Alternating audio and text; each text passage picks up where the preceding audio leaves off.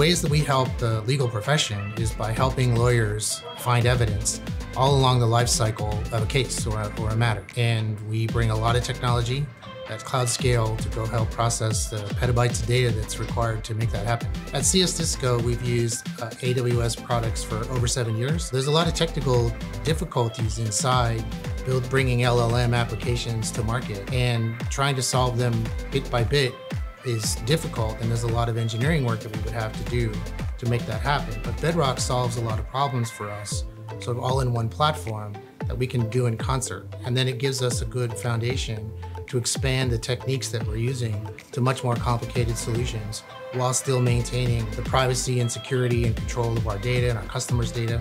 And all that at the same time is hard to achieve. And that's a big step forward for reducing the anxieties and worries that customers might have or that misuse of your own data might have. When I tell other engineers about the benefits, we get a good serverless experience. We have a variety of models that we can choose from. We get some of the more important uh, platform offerings like agents, which allow us to pull in private data into the middle of an evaluation.